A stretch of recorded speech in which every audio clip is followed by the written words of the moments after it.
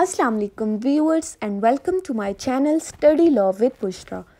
So in this video I'll discuss with you guys article 158 of Constitution of Pakistan 1973 which is about priority of requirements of natural gas.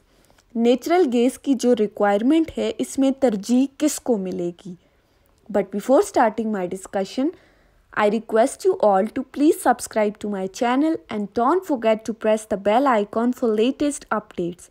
Do share this video with your friends. Let's move towards my topic.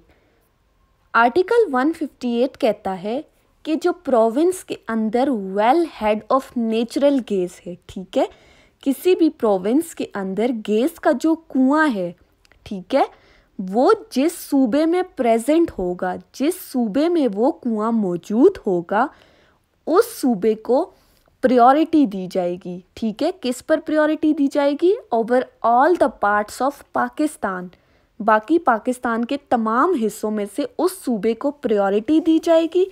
ठीक है? और बाकी तमाम सूबों की नस्बत जो gas की रिक्वायरमेंट है, उसको फुलफ़िल करने के लिए इसको तरजीह दी जाएगी उस सूबे को।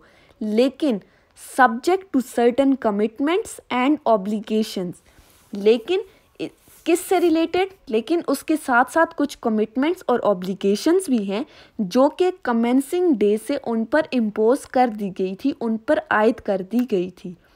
सिंपली अगर हम इसको देखें तो ये आर्टिकल कहता है कि जिस प्रोविंस के अंदर गैस का जो कुआँ है, वो जिस सूबे में मौजूद होगा, उस सूबे को बाकी तमाम पार्ट्स की नस्बत जो गैस की रिक्वायरमेंट्स हैं, उसको पूरा करने के लिए तरजीह दी जाएगी लेकिन with regards to certain commitments and obligations which were imposed from the commencing day. So this was our article 158. I hope you all liked this video. Thank you so much for watching.